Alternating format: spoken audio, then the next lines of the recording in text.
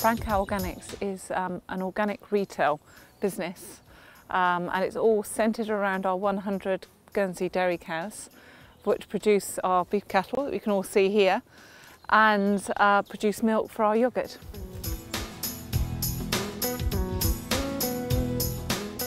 I think farming is actually on its knees um, and it's not a recognised uh, profession anymore within the country.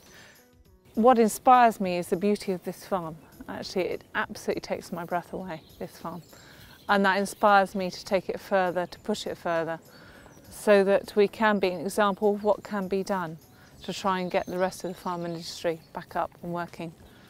We don't vac pack our meat. Uh, I'm very against vac packing. I think something as good as this should be presented in a beautiful way uh, which is good also not only for human health but for the environment. I'm very against excessive packaging.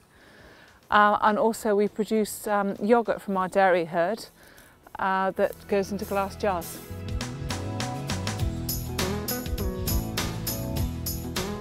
To win a WEBA would be a fantastic recognition of the work that's done at Brown Cow.